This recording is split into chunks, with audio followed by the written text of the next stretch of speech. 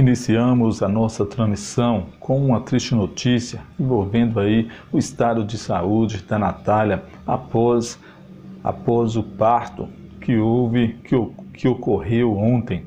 A Natália, felizmente, tenho aí uma triste notícia envolvendo a Natália. Já já o presidente do projeto Pai Resgatando Vidas vai estar esclarecendo o que de fato está acontecendo com a Natália. Mas antes eu gostaria de deixar aquele recadinho especial para vocês que acompanham o nosso trabalho, que curte o nosso canal. Não se esqueça de se inscrever nesse canal, ativar o sininho para receber as nossas notificações. Eu sou o Ricardo Lima e esse é o seu canal de notícia. Vamos estar soltando aí o áudio onde o presidente do projeto vai estar explicando o que aconteceu com a Natália após o parto. Felizmente, triste notícia acaba de chegar referente à Natália. Vamos, vamos acompanhar o áudio aí para vermos como, como anda o estado de saúde da Natália. Acompanhe esse vídeo até o fim. Lembrando aí a todos vocês que nós estamos também pela, pelo Facebook com a página Pai Resgatando Vidas Brasil. Não se esqueça de seguir o Pai Resgatando Vidas Brasil, a página, e deixar o seu comentário, deixar a sua opinião. Vamos acompanhar aí o áudio.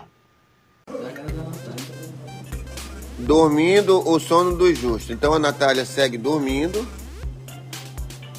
Em breve vai receber a primeira alimentação a criança, graças a Deus. Ainda estamos na sala pós-anestesia, dentro do centro cirúrgico. Então a Natália ainda não foi para o leito, né? Ela continua em observação, ela continua lá tomando soro, remédio, para que ela possa ir para a sala de cirurgia não, para ir para o leito.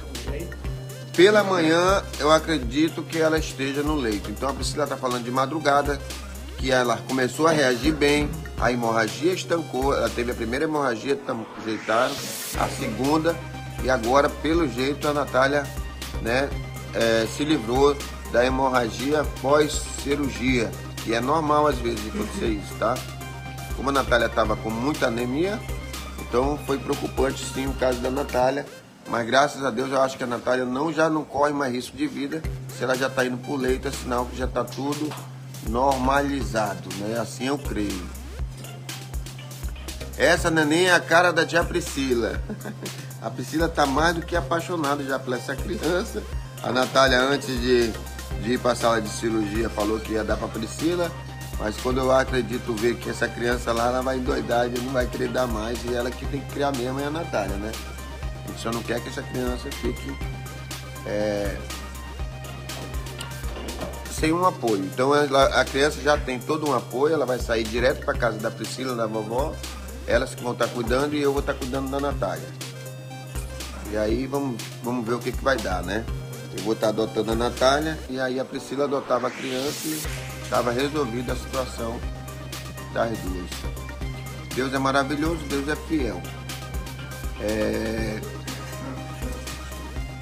Ficará bem as duas, com certeza vão ficar bem as duas e isso aí é mérito do Instituto Social que lutou muito para que isso acontecesse, né? Como vocês sabem, a gente vem segurando a gravidez da Natália.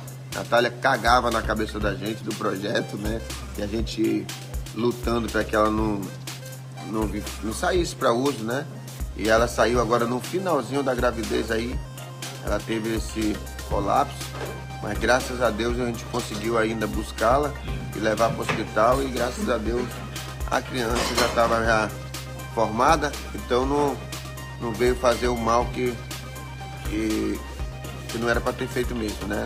Por conta do uso que ela passou cinco dias usando a droga.